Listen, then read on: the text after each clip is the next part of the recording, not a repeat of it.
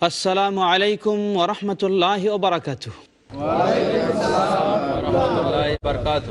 الحمد لله رب العالمين والعاقبة للمتقين والصلاة والسلام على عبد الله ورسوله نبينا محمد وعلى آله وصحبه أجمعين أما بعد প্রিয় দর্শক বৃন্দ পৃথিবীর বিভিন্ন আনাচে কানাচে থেকে যারা পিস টিভি বাংলা দেখছেন সকলকে আমন্ত্রণ জানাচ্ছি পিস টিভি বাংলার ধারাবাহিক প্রোগ্রাম কিতাব উত্তাউহিদ এর দর্শে।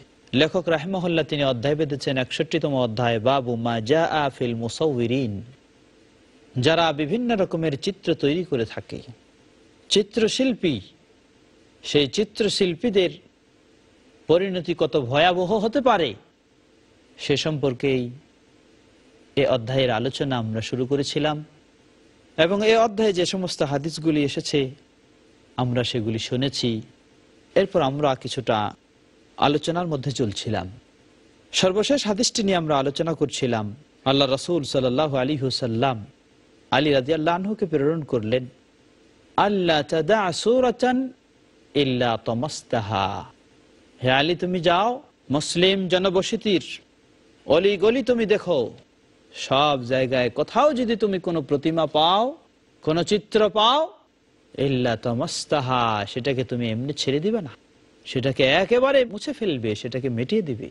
আমরা এই বিষয়টিকে নিয়ে আলোচনা করছিলাম। আসলে এর ভয়াবহ দিকগুলি দু ধরনের।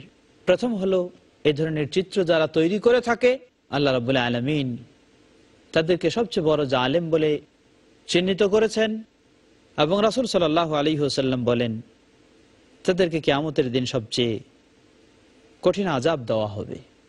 সবচেয়ে যে ব্যক্তি কঠিন আজাব পাবে, সেই ব্যক্তি হলো যে এই সমস্ত চিত্র তৈরি করে থাকে। প্রিয় বন্ধুরা, দ্বিতীয় দিক হলো যে এই চিত্র স্থাপনের কারণেই, মাধ্যমেই সমাজে শেরক এর আবির্ভাব ঘটে থাকে। সে প্রসঙ্গে আমরা কোরআন ও হাদিসের আলোকে আলোচনা করেছি। মুসলিম সমাজে কোনো প্রতিমা পূজা ছিল না। এই প্রতিমা পূজা বা এই শেরকের উৎপত্তি হয়েছে এই প্রতিমা ও চিত্র এগুলিকে কেন্দ্র করেই। অতএব একজন মানুষ যদি তার ইমানকে ঠিক রাখতে চায়, তাহলে তাকে আল্লাহর সমতুল্য সৃষ্টি করার মাধ্যমে আল্লাহ সুবাহ তিনি যে রব প্রতিপালনকারী, সেই দৃষ্টিকোণ থেকে তার শিরকে লিপ্ত হওয়া হয়, সেটা থেকে বিরত থাকতে হবে। অপরদিকে একমাত্র আল্লাহ সুবাহ তিনি আমাদের আবাদত আমাদের শ্রদ্ধা পাওয়ার অধিকার রাখেন, শ্রদ্ধাপূর্ণ আবাদত পাওয়ার অধিকার রাখেন। সেই দৃষ্টিকোণ থেকে তার সাথে কোনো প্রতিমাকে, কোনো চিত্রকে, কোনো ব্যক্তিকে শরিক করার বিষয় থেকেও যদি আমরা বাঁচতে চাই, তাহলে আমাদেরকে এই বিষয়গুলিকে বর্জন করতে হবে। প্রিয় বন্ধুরা, এ হাদিসের দ্বিতীয় অংশ যেটি আল্লাহ রসুল সাল্লাম আলী রাজি আল্লাহকে বলেছিলেন ওয়ালা কবরান মুশরিফান ইল্লা সওয়াইতা ওয়ালা কবরান মুশরিফান ইল্লা সওয়াইতা হে আলী তোমাকে আমি পাঠালাম, যাও তুমি ঘুরে দেখো। কোথাও যদি তুমি কোনো উঁচু কবর পেয়ে যাও, ইল্লা সওয়াইতা সে উঁচু কবরকে তুমি একেবারে সমান করে দিবে। কখনো উঁচু রাখবে না। প্রিয় বন্ধুরা, আসলেই বিষয়টি খুব আশ্চর্যের সাথেই বলতে হয়। আজকে আমাদের কবরগুলির কি অবস্থা? বরং আমরা যাদেরকে ভালো মানুষ মনে করি, যাদেরকে আমরা অলিয়া উলিয়া মনে করে থাকি, যাদেরকে আমরা বুজুর্গ মনে করে থাকি, যাদেরকে আমরা বিভিন্ন রকমের দিনদার নেককার বেশি বলে আমরা মনে করি, তাদের কবরগুলিকেই আজকে আমরা শরীয়ত নিষিদ্ধ যেই নিয়ম, সেই নিয়ম অনুযায়ী তাদের কবরগুলিকে করে থাকি। এই কবরকে কেন্দ্র করেই সেখানে বড় ধরনের অট্টালিকা, ভবন, কত কিছু আমরা সেটাকে তৈরি করে থাকি। হয় কবরের উপরও করি, অথবা কবরকে কেন্দ্র করে তার আশপাশে সেগুলি, সেই স্থাপনাগুলিকে আমরা গড়ে তুলি। এটা কি কোনো মুসলিমের কাজ? এটাও একই সূত্রে এসেছে আমাদের মাঝে। তাহলে সেই ইয়াহুদ এবং খ্রিস্টানদের অনুসরণ করেই আল্লাহ রসুল সাল্লাহ আলি সাল্লাম তিনি জীবনে বহুবার, এমনকি মৃত্যুর পাঁচ দিন পূর্বেও সকল সাহাবিদেরকে মসজিদে সমবেত করে তিনি তাদেরকে সতর্ক করছেন এবং বলছেন, আল্লাহ রাবুল্লাহ আলমিনের তাদের প্রতি লানত। যারা কি করেছে? তাদের নবীদের কবরগুলিকে সেজদার স্থান হিসেবে নির্ণয় করে নিয়েছে। আল্লাহ রসুল সাল্লাহ আলী হুসাল্লাম তার জীবনের শেষ মুহূর্ত যখন তিনি পৃথিবী থেকে বিদায় নিতে যাচ্ছেন, দিনটি ছিল বারোই রবিউল আউয়াল, সোমবার। আনহার ঘরেই তিনি মৃত্যুসজ্জায় শায়িত যেন অস্থির হয়ে গেছেন।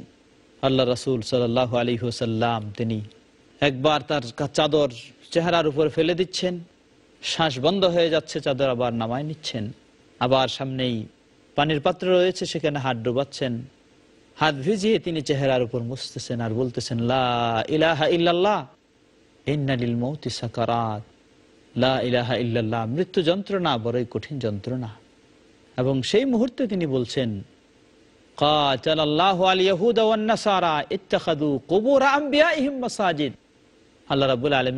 এবং নাসারাদেরকে ধ্বংস করুন, যারা তাদের নবীদের কবরগুলিকে শেষদার স্থানে পরিণত করেছে।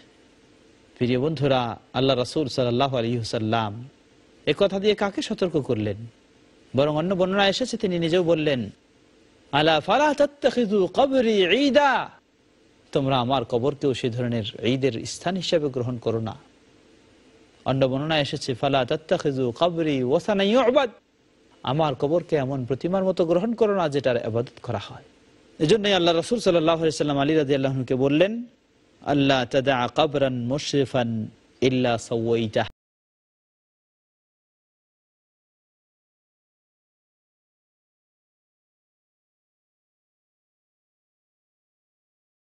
এটা নিয়েই আমাদের এখন বড় বাহাদুরি। কে কার কবরকে কত সুন্দর করতে পারি, কে কার কবরের মধ্যে কত সুন্দর গম্বুজ, কত সুন্দর স্থাপনা, কবরকে, কবরের উপরে বা কবর কেন্দ্রিক এগুলি তৈরি করতে পারে এই প্রতিযোগিতায়।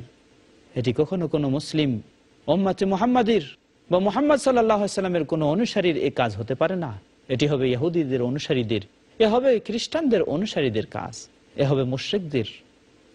প্রিয় বন্ধুরা, তাই আসুন আমরা সে বিষয়ে অবশ্যই সতর্ক হব। লেখক রহমাহুল্লাহ, তিনি এই অধ্যায়টিতে যে মূল বিষয় আলোচনা করছেন সেগুলি হচ্ছে চিত্র তৈরি করা। এই সমস্ত চিত্র তৈরি করা ইসলামে আল্লাহ রাব্বুল আলমিন যেভাবে কঠিন হাদিসের মধ্যে, হাদিসে কুদুসের মধ্যে যেভাবে বলছেন, সেগুলি থেকে প্রমাণিত হয় একজন মমিন মুসলিমের জন্য যে আল্লাহকে খালেক হিসাবে, মালিক হিসাবে বিশ্বাস করে, তার জন্য কখনো বৈধ নয়, তার জন্য হলো হারাম এই ধরনের চিত্র তৈরি করা। আসুন আমরা যে হাদিসগুলি শুনলাম এই হাদিসের আলোকে একটু আমরা চিন্তা করে দেখি, যে সমস্ত চিত্র তৈরি করা হয়, সেগুলির হুকুম কি হতে পারে? এবং এগুলি চিত্র বলতে সেগুলি কি সিস্টেমের, কি প্রকারের? কোনগুলি হারাম কোনগুলি হারাম হইতে হবে না। আমরা এই চিত্রগুলির অবস্থা সাধারণত চারটি অবস্থা বর্ণনা করতে পারি। প্রথম হলো যেগুলি এমন পর্যায়ে তৈরি করা হয়, যেটার একটা যেন বডি রয়েছে, যেমন মানুষের মতো, ওট, গরু, ছাগলের মতো, অর্থাৎ যেটা একটা বডি সেরকম বডি একটা তৈরি করা। যদি এই ধরনের হয়ে থাকে, চাই সেটা মাটি দিয়ে তৈরি করুক, বা সেটা প্লাস্টিকের হোক, বা কাঠের হোক, বা আরও যে কোনো উপাদান দিয়ে হোক না কেন, সেটা সম্পূর্ণভাবে হারাম। আল্লাহ রসুল সাল্লাহ আলী হুসাল্লামের এই হাদিসগুলি থেকে আল্লাহ রাবুল আলমিনের হাদিসে কুদ্সি থেকে যেটা প্রমাণিত হচ্ছে সেটি সম্পূর্ণভাবে হারাম। এবং যে ব্যক্তি এগুলি করবে, কিয়ামতের দিন সে সবচেয়ে কঠিন আজাবের সম্মুখীন হবে। এ হলো এক। দ্বিতীয় বলব আমরা যে আল্লাহ আসসালামু আলাইকুম ওরহমতুল্লাহ ওবরাকাত প্রিয় দর্শক বৃন্দ আপনাদেরকে ধন্যবাদ জানাচ্ছি। আপনারা ধৈর্য সহকারে অপেক্ষা করে মূল্যবান আলোচনা শুনছেন।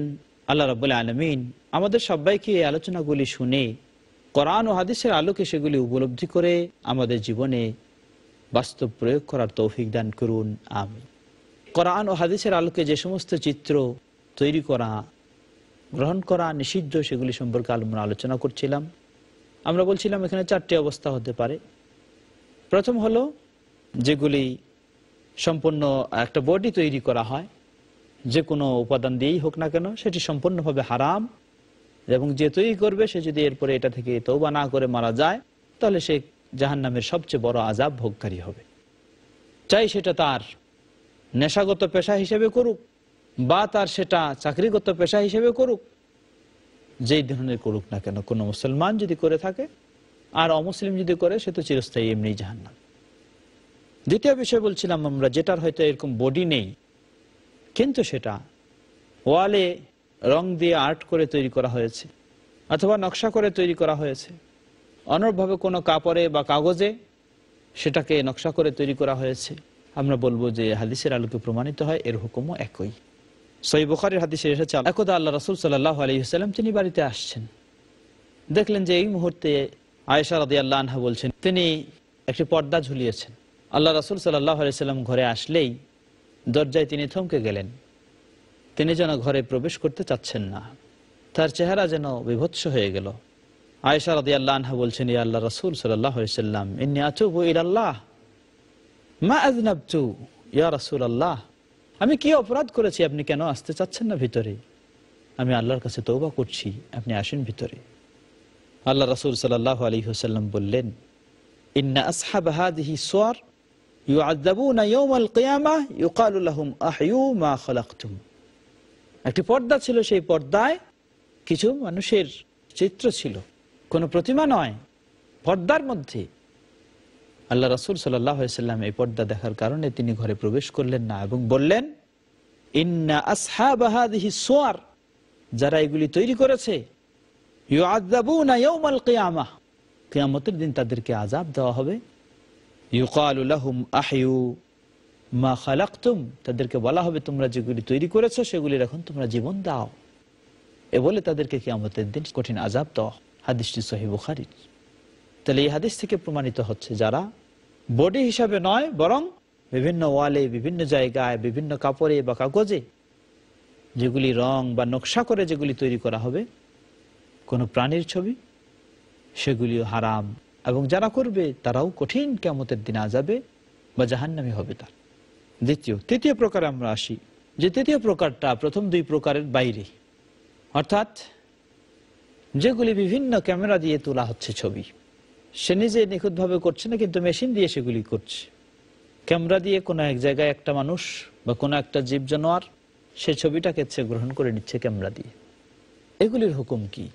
জব, এগুলি যদি ক্যামেরা দিয়ে গ্রহণ করে সেটাকে প্রকাশ করা হয়, তাহলে এক্ষেত্রে আলিম সমাজ তারা ভিন্ন ভিন্ন কিছু মতামত ব্যক্ত করেছেন।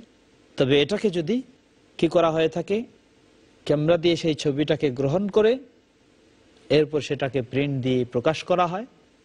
অনেকে এটাকেও হারাম বলেছেন। কারণ এটার মাধ্যমেও যেন মানুষের আকৃতি বিকৃতিটাকে আল্লাহ সুবাহ তালার সৃষ্টির সাথে একটা সাদৃশ্য রেখে সেটা উপস্থাপন করা হচ্ছে। চাই মানুষের হোক বা জীব জানোয়ারের হোক। আবার কেউ বলছেন যে না, এটা সেই বিষয়ের মধ্যে অন্তর্ভুক্ত নয়। তো মূল কথা আমরা বলব যে এ সমস্ত যেগুলি ক্যামেরা বা ইত্যাদির কারণে যে মাধ্যমে যে সমস্ত ছবি সংগ্রহ করা হচ্ছে, তৈরি করা হচ্ছে, চিত্রগুলি, এই চিত্রগুলি যদি একান্ত কোনো প্রয়োজনের জন্য যদি হয়ে থাকে তাহলে সেটা হয়তো আমরা বলব জায়েজ, কারণ আজকাল যেমন বিভিন্ন রকমের পাসপোর্টের, আইডি কার্ডের বা ইত্যাদির জন্য একান্ত যেটা না হলে হয় না, সেটার জন্য আমরা হয়তো বলব যে অসুবিধা নেই, এটা জায়েজ হবে।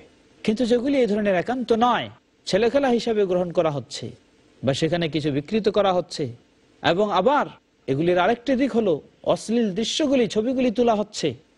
মানুষেরই সেটা আরও আরেক দিক থেকে সেটা অবশ্যই হারাম। এবং যারা এগুলি করবে, কোনো সন্দেহ নাই। এটি একটি হারাম এবং বড় ধরনের কবিরা গোনা এবং এর কারণেও আল্লাহ রাবুল্লাহ আলমিন তাকে জাহান নামে অবশ্যই শাস্তি দিবেন। প্রিয় বন্ধুরা, তাই আমাদের হাতে ক্যামেরা থাকলেই বা বিশেষ করে আজকে মোবাইলে ক্যামেরা বা সবখানেই এজন্য আমরা এই বিষয়টিকে এত অহরহ ব্যবহার করছি যেন আমরা কিছুই মনে করছি না না কখনো উচিত নয়। বিশেষ করে প্রিন্ট দিয়ে বের করে সেগুলিকে গ্রহণ করা, স্মৃতির জন্য হোক আর যেই জন্যই হোক না কেন, এগুলি কখনো বৈধ নয়। আল্লাহ আলাম। চতুর্থ অবস্থা আমরা বলব, যে সমস্ত চিত্র প্রাণী জগতের নয়, এই তিনটি আমরা যেগুলি বললাম, সেগুলি হলো প্রাণী জগতের ছবি বা প্রাণী জগতের চিত্র বা প্রতিমা বা প্রতিকৃতি। চতুর্থ অবস্থা আমরা বলব, যেগুলি প্রাণী জগৎ নয়, সেগুলির হুকুম কি? প্রথমে আমরা বলব যে যেগুলি প্রাণী জগৎ নয় এটি আবার দুই ধরনের হতে পারে। এক হলো, কতগুলি একেবারে হান্ড্রেড পার্সেন্ট জড় পদার্থ, যেগুলি কোনোই যার মাঝে জীব নেই, মানুষ যেগুলি নিজেরাই তৈরি করছে উদাহরণস্বরূপ গাড়ি, বাড়ি, যেগুলি মানুষ তৈরি করে, সেগুলির যদি চিত্র আর্ট করা হয়, তাহলে বেলেত ফাঁক সকল আলমের মতে এখানে কোনো অসুবিধা নেই এটা। কারণ কিছু কিছু হাদিস থেকে ইঙ্গিত পাওয়া যায় যে প্রাণী জগৎ যেগুলি নয়, সেগুলির ছবি তৈরি করা যেতে পারে। প্রিয় বন্ধুরা, এ হলো সংক্ষিপ্ত এ বিষয়ে কথা।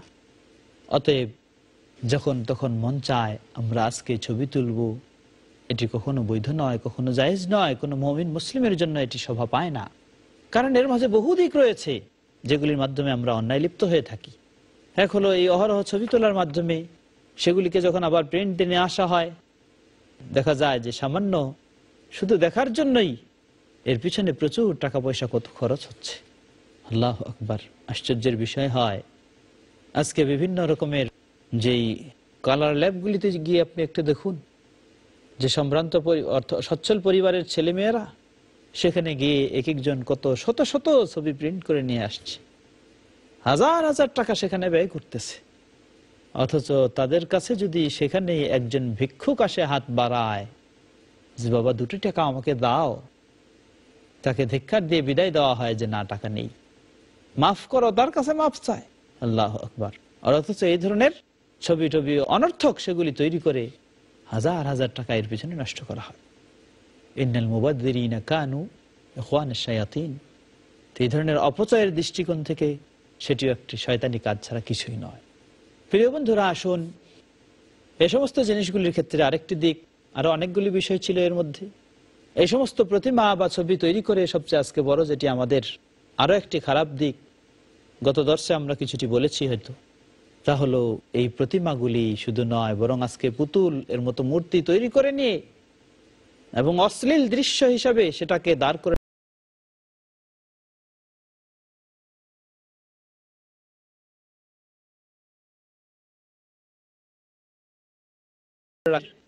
মুসলিম সমাজের ঘর শোভা পায় না, তাদের শোকেশগুলি শোভা পায় না। যদি সেখানে বিভিন্ন রকমের মূর্তির প্রতিমা যদি সেখানে না রাখা হয়, আল্লাহ আকবার, এটা হচ্ছে আজকে আমাদের মুসলমানদের অবস্থা। কখনো কোনো মুসলমান তার ঘরে শোভার জন্য এগুলিকে সুন্দরভাবে সাজায় রাখতে পারে না। কারণ আল্লাহ রাসুল সাল্লাম বলেন, ইন্নাল যেই ঘরের মাঝে এই ধরনের মূর্তি বা এই ধরনের চিত্র, এই ধরনের ছবি, অঙ্কনগুলি থাকবে। সেখানে কোনোদিন ফেরেস্তা প্রবেশ করে না। তাহলে ফেরেস্তা প্রবেশ না করলে কে করে? শয়তান করে। আল্লাহ আকবার, একজন মমিন। প্রতিটি মা বোনকেও আমি বলতে চাই, আপনি কি একটু চিন্তা করেছেন? আপনার ঘর, আপনার ড্রয়িং রুম বা আপনার এই রুমগুলিকে আপনি সাজিয়ে রেখেছেন যেন শয়তান এখানে এসে আশ্রয় নিতে পারে। আর পথ বন্ধ করে দিয়েছেন আপনি, সেই রহমতের ফেরেস্তা আসার পথকে বন্ধ করে দিয়েছেন। কীভাবে একজন মমিন মুসলিমের জন্য এটা শোভা পায়? যদি আজকে আমরা সত্যি মমিন হতাম, আল্লাহকে ভয় করতাম এবং আল্লাহর রহমত কামনা করতাম, তাহলে যখন এই মদ ইসলামে হারাম হলো, হারাম হওয়ার সাথে সাথে সংবাদ যখন ছড়িয়ে গেল, দেখা গেল যে সেই মদিনার অলিতে গলিতে সকলেই বাড়ি থেকে মদের পাত্রগুলি মদ সহ বের করে রাস্তায় ফেলছেন এমন রাস্তায় মদের জন্য স্রোত বয়ে যাচ্ছে।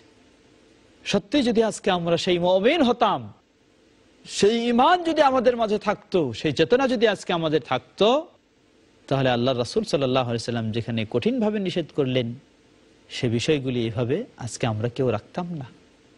অনেকে কেউ দলিল হিসাবে গ্রহণ করতে চাই যে আয়সা রাদি আল্লাহ আনহা তিনি ছোট অবস্থায় খেলতেন এগুলি নিয়ে। আয়সা রাদি আল্লাহ আনহা খেলতেন ঠিক কিন্তু আয়সা রাদি আল্লাহ আনহা যেগুলি দিয়ে খেলতেন, সেগুলি কয়েকটি দিক থেকে মুক্ত ছিল। প্রথম, সেগুলি ছিল না কোনো অশ্লীল। আজকে আমরা পুতুলগুলি বা ইত্যাদিগুলি, বিশেষ করে মেয়েদের যে সমস্ত বিভৎস চিত্রগুলি আমরা তৈরি করে, সেগুলিকে আজকে আমরা শোকেজে সাজায় রাখি।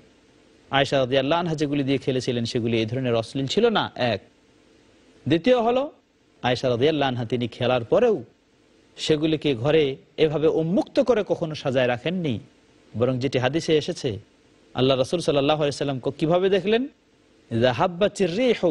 বাতাস এসে, বাতাসে যখন পর্দাটি সরে গেল, যার কারণে আয়েশা আল্লাহ যেখানে লুকায় রেখেছিলেন ঘরের এক কোনায় সেগুলি বের হলো। বের হয়ে আল্লাহ রসুলাম জিজ্ঞাসা করলেন, মা হাজিহি এগুলি কি তোমার? তখন বললেন যে, এগুলি হলো আমার খেলার বিষয়। তাই সারাদি আল্লাহ সেগুলিকে, প্রথম হলে সেগুলি কোনো অশ্লীল ছিল না, দ্বিতীয় হলো সেগুলি আয়সা রাদি আল্লাহা আড়ালে রেখেছিলেন, কখনো খোলামেলা রাখেন নাই। আর আমরা আজকে সেগুলি খোলামেলা শুধু নয়, বরং আমাদের আজকে মুসলমানদের শোভা বর্ধনের বিষয় হয়ে গেছে এগুলি আজকে। এজন্য আল্লাহ রাবুল্লাহ আলমিন বলছেন, ওমা ইউমিনু আখতারুহুম বিল্লাহ ওয়াহুম মুশরিকুন। তাদের অধিকাংশই আজকে আল্লাহ রাবুল্লাহ আলমিনের প্রতি ইমান আনা সত্ত্বেও তারা মুশ্রিক হয়ে গেছে। প্রিয় বন্ধুরা, আসুন, প্রতিটি মুসলিম ভাই ও বোনকে আমি অনুরোধ জানাব, আসুন নিজের ইমানি চেতনাকে ফিরিয়ে নিয়ে আসুন এবং এই শেরকি স্বভাব শেরকি আদর্শকে বর্জন করুন, বর্জন করে ইমানি ইসলামী আদর্শ নিয়ে আসার চেষ্টা করুন। আল্লাহ আমাদের সবাইকে এই সঠিক পথে ফিরে আসার তৌফিক দান করুন, আমিন। প্রিয় বন্ধুরা, তাহলে এই অধ্যায় থেকে আমরা জানলাম যে এই ধরনের চিত্র, সেগুলি তৈরি করাও হারাম এবং সেগুলিকে গ্রহণ করা, সেগুলিকে রাখা নিজের ঘরে, সেগুলিও হারাম। অতএব একজন মমিন মুসলিম এই দুই দিক থেকেই, এ হারাম থেকে অবশ্যই তাকে বিরত থাকতে হবে। যদি হারামের মধ্যে লিপ্ত হয়ে যায়, তাহলে তার ইমান তার তাওহিদ অবশ্যই সেটি বাতিল হয়ে যাবে। কখনো সে আল্লাহ সুবাহ তালার প্রতি ইমানদার আল্লাহ সুবাহ তালার প্রতি শ্রদ্ধাশীল হতে পারে না। আল্লাহ আমাদের সবাইকে আল্লাহ সুবাহ তালার প্রতি পরিপূর্ণ ইমান নিয়ে আসার তৌফিক দান করুন। আল্লাহ আমিন। আপনাদের সবাইকে অনেক ধন্যবাদ জানিয়ে আজকে এখান থেকে বিদায় নিচ্ছি। আগামী দর্শে আবার দেখা হবে ইনশাআল্লাহ। ওসালামু আলাইকুম ওরহমতুল্লাহ ওবরাকাতু